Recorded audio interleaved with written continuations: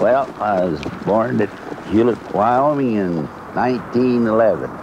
November 26th, they said that the doctor come with team and sled to deliver me. And eighth grade, as far as I went in school, thought I was smart enough then and took off. I didn't leave home, but I didn't go to school any. I'd always liked them horses. I rode for two or three years bareback before I ever had a saddle.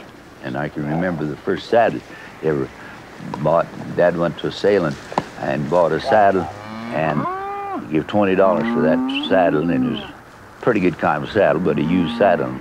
Boy, I was proud of that than any new saddle I've ever had my whole life, my first saddle. Cowboys are special with their own brand of misery from being alone too long. You could die from the cold in the arms of a nightmare, knowing well your best days are gone.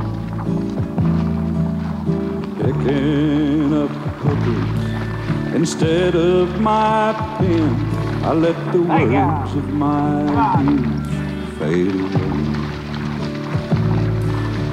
Old worn out saddles and old worn out memories with no one and no place to stay. My heroes have always been cowboys, still are.